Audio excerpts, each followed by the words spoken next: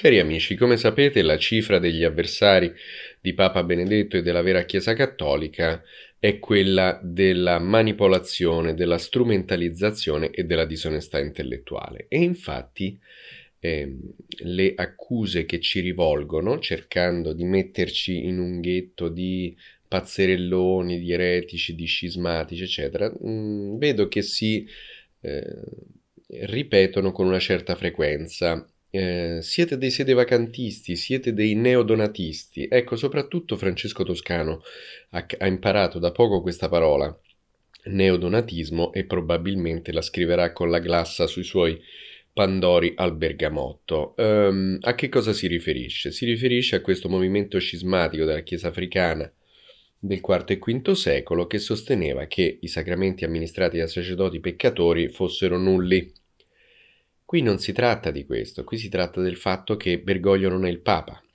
Il fatto che sia eretico è del tutto accessorio e ininfluente. Quindi quello che dice Don Alessandro Minutella è che i sacramenti non sono validi perché Bergoglio non è il Papa, non perché è eretico. Quella semmai è una cosa in aggiunta, eh? è un optional. Perché uno dovrebbe andare a messa in unione con uno che non è il Papa? Che ha usurpato il papato e per di più come ciliegina sulla torta è anche eretico? Questa è una bella domanda, no?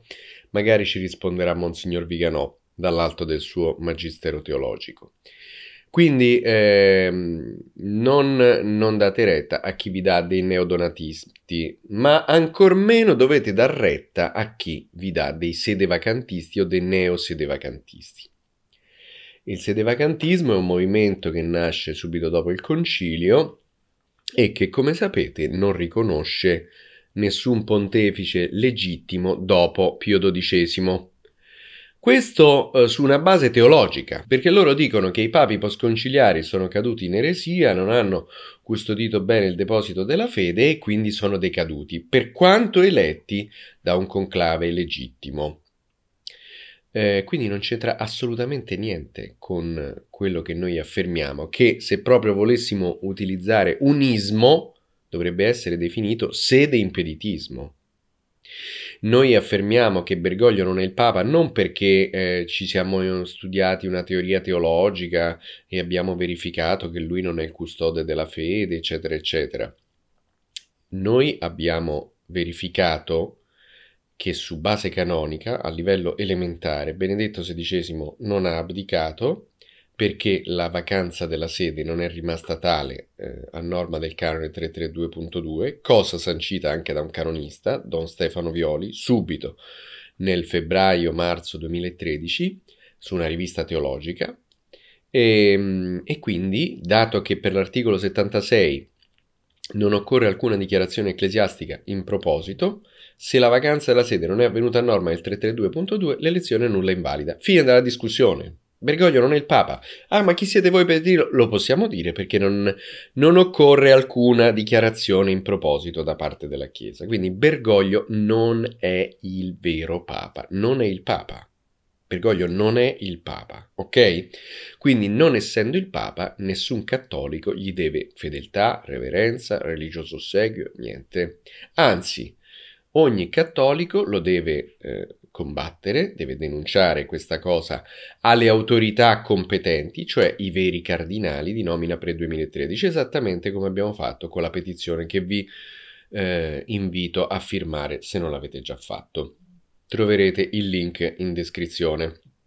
Quindi ehm, i, I sedevacantisti che non celebrano i sacramenti in unione con i papi postconciliari l'hanno deciso loro che non sono papi, l'hanno deciso loro su base teologica.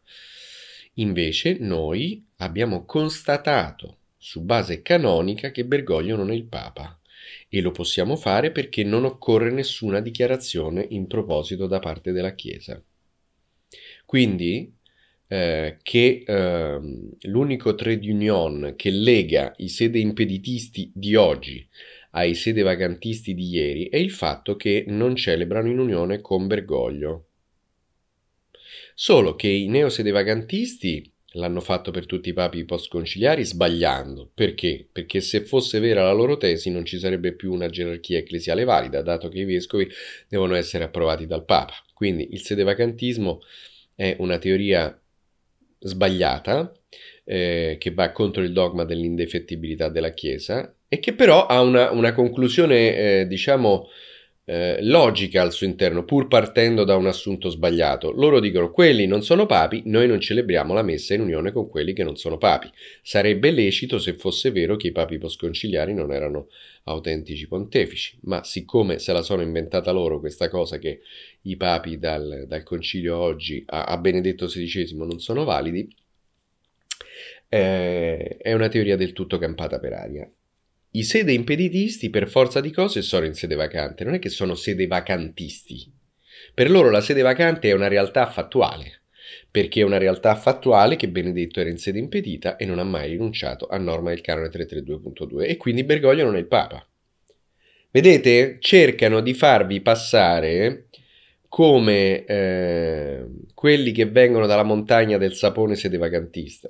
Ah sì, vabbè, voi pensate che, non sia, che Bergoglio non sia un papa valido, lo, come, come, i sedevacantisti ehm, pensavano che tutti i papi posconciliari fossero nulli, eccetera. Vedete come, cosa cercano di fare? E si guardano bene dal pronunciare la parola sedeimpeditismo. Per esempio, Monsignor Schneider, il vescovo più intellettualmente disonesto degli ultimi due secoli probabilmente. Prima avevo detto vent'anni, adesso eh, parlo dei due secoli. Ehm, scrive una lettera ai neosedevacantisti senza neanche citare la questione della sede impedita. Vi sembra corretta una cosa del genere? Vi sembra corretta? Cioè, come se io rispondessi ai veri sedevacantisti senza citare eh, la loro posizione sul concilio. allora di che cosa stiamo parlando? I, i, i sedevacantisti non considerano papi, tutti quelli da, dopo, dopo Pio XII, per il concilio. Noi non consideriamo Bergoglio valido per la sede impedita e per questo ci diciamo in sede vacante. Se, vo- se, se, Schneider non nomina la sede impedita, fa un'operazione scorrettissima, intellettualmente disonestissima. Ma la cosa non mi stupisce perché in quelle zone farisaiche del tradizionalismo più più cupo e bigotto, questo tipo di atteggiamento è la cifra comune. Quindi avete capito, uh, chi è per Papa Benedetto XVI si trova in sede vacante, non è donatista perché eh, non riconosce a Bergoglio la legittimità come pontefice per un dato canonico e non c'entrano niente le sue eresie che sono semmai un'aggiunta. Non è sede vacantista perché eh, il fatto di essere in sede vacante non deriva da una speculazione teologica personale, ma deriva da un dato canonico che è constatabile da tutti senza bisogno che eh, intervenga una dichiarazione della Chiesa. Bene, fatto questo chiarimento, cari amici, vi ricordo l'appuntamento del 13 a San Severino Marche insieme a Diego Fusaro e del 14 a Montesilvano in provincia di Pescara con la partecipazione anche molto gradita del eh, teologo Carlo Maria Pace che voi conoscete e forse, mi hanno detto, sarà eh, ospite anche il, lo stimato collega Franco Fracassi. Un caro saluto.